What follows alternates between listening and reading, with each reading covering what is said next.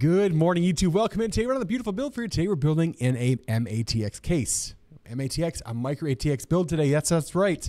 7800 X3D is starting it off. We're putting on the B650M board coming in from MSI and the Pro MA board. Beautiful little micro ATX board. Nothing really frilly, nothing really crazy, nothing all RGB on today's system, but it's absolutely beautiful in terms of performance and value and bang for buck performance. 6000 CL30 coming in from G.Skill and the S5 Ripjaws RAM. That's 32 gigs coming in in DDR5. Got a one terabyte NVMe drive. One terabyte is plenty of power in today's systems. On topping it off, we've got 750 watt uh, ATX 3.0 power supply coming in the 750 GL from MSI as well. And then we're putting in the beautiful, I'd say almost compact three fan WindForce RTX 4070 coming in from Gigabyte. We're putting this all in the beautiful Deepcool CH370, which is a beautiful blackout system. And to top it all off, we're going to cool it with the AK620 coming from Deepcool as well. Let us know what you think down below in the comments. That was a mouthful because we're recording this live as we talk about it right now at our Twitch channel, which you can join us any Monday, Wednesday, or Friday over at twitch.tv slash at 10 a.m. Eastern, and we hope to see you soon when I realize I'm muted, I'm trying to talk to you. My bad.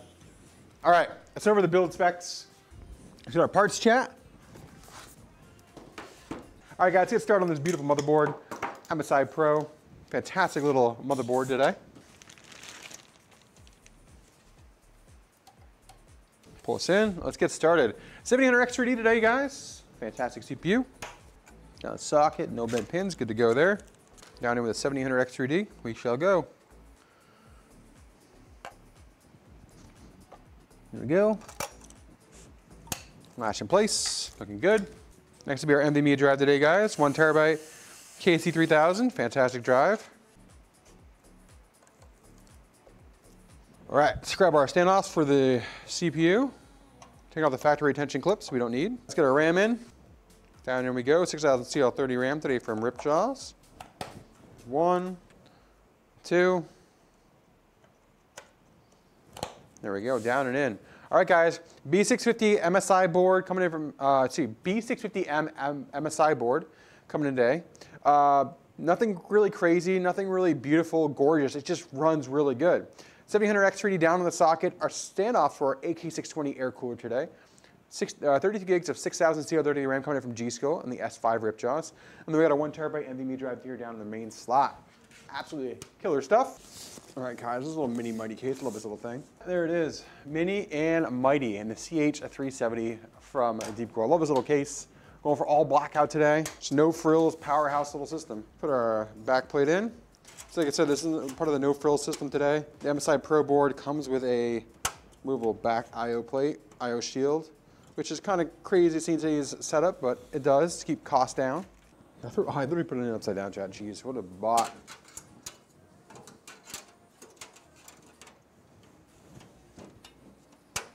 All right, down and in. Probably the first one of those I've had to put in in quite some time. Probably the last time I built, probably with this motherboard. This is the only motherboard I think we use right now that has the rear I.O. not already pre-installed. Again, today's build is actually a quick ship system. It's gonna go on our ready ship deals later today. This is a company called The Catalyst. And I believe it's $17.99. It's a very capable, by the way, it's a very capable case. You can do a 240 top mount on this one with ease. You could do a 360 front mount in this case. If MATX is the way that you're looking at, this is one of the best cases right now, in my opinion, in terms of bang for buck quality as well. Like Deepcool's case quality has gone through the roof. I don't think you realize that. We've been using a little more Deepcool stuff because of their cases. And it's good to see that out of a brand who wants to kind of like go after the market share of people who are building really high-end cases at a, over premium price point. NZXT has come down on their pricing, which makes them one of the most valuable options as well. I think really right now it's mainly some of their offerings, NZXT and then Deepcool in terms of case. Phanteks is, is there with a couple cases, a little higher than some of the other ones. Antec right now probably makes some of the best bang for buck cases. There we go guys, some other words all in in. There we go. There's the cables in the back looking nice already.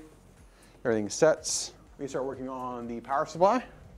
We have 700 watt, 750 watt power supply, and we're gonna put our two front fans in. That's what we have to do. Do our two front fans before we do that. Put some beautiful Be Quiets in there. We're putting two, like uh, 900, 900 RPM quiet silent wings in the front here, just to bring some air into this case. So it doesn't have to be a lot. I mean, the CPU doesn't run super hot. As long as we're just getting good airflow through this case, which we're getting with the, uh, the cooler, the rear fan, and these two front 140s, plenty of airflow. We're just really throwing these in here just to get that, just like I said, just circulate some air in this case. The case already has good airflow, it's just gonna make it even better. It's two beautiful 140s. I'll show you that there. You can see what we just put in there.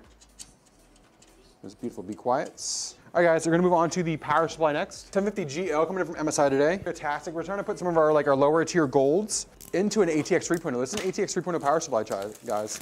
This has a 12 volt, 12 volt high power, which is a 750, which is honestly you could put like a 4070 Ti, could power that.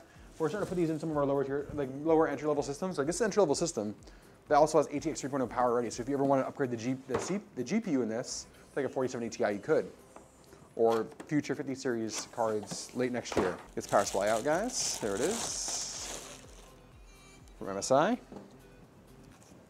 Let's get our power supply all set up. 24 pin main first. CPU one, CPU two. Before we get the power cables in, I like to run all of our front panel connections. That way you can zip them up and hide them underneath the big bulky power cables. Let's work on these. Front panel connections are all in. Get our CPU power cables in. All right, guys, almost done with the cable management. Got to run our, we're just running our EPS right now, which are our CPU power. After this, we're going to hook up our 24 pin main, and then we're moving on to our air cooler. And then we go with the 24 pin main.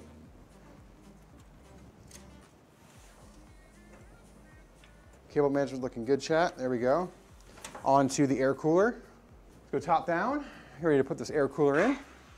Some thermal paste and then the air cooler.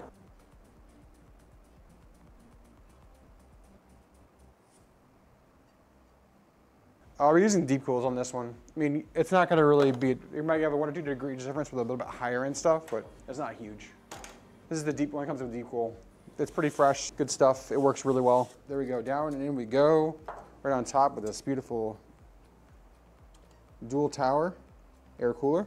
Nice and tight. It's a big part. Make sure these air coolers are nice and tight on these towers because these towers can wiggle and wobble. So just, they're getting our fans connected.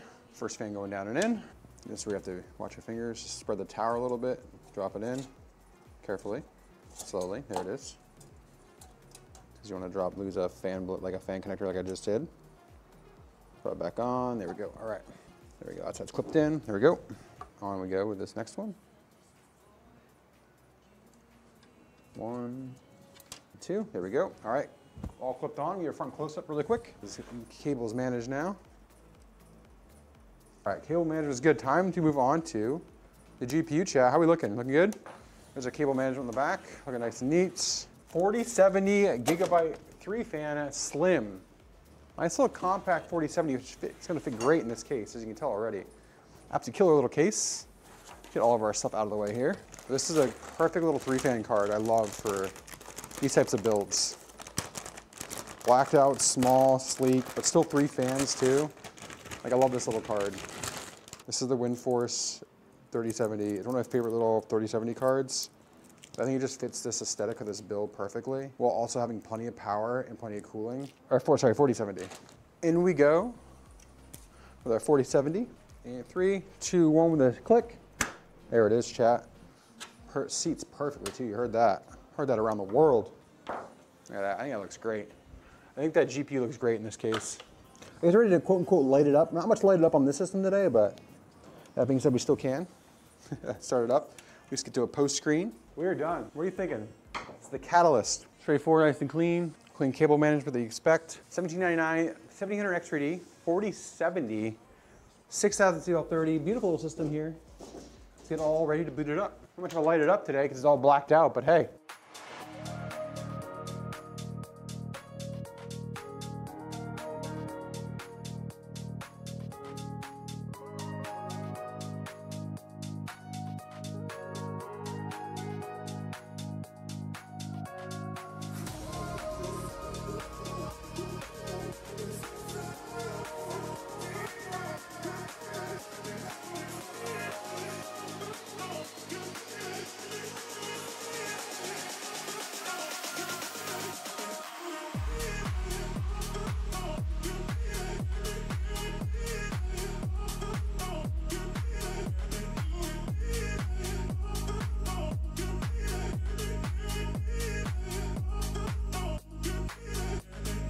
Guys, thanks for coming in and liking another video here on YouTube. Make sure to hit that like button, help us with the algorithm. Make sure people find us and see all the beautiful PCs we build.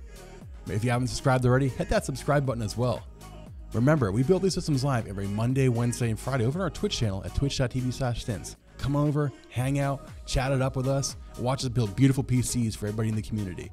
And remember, let's go.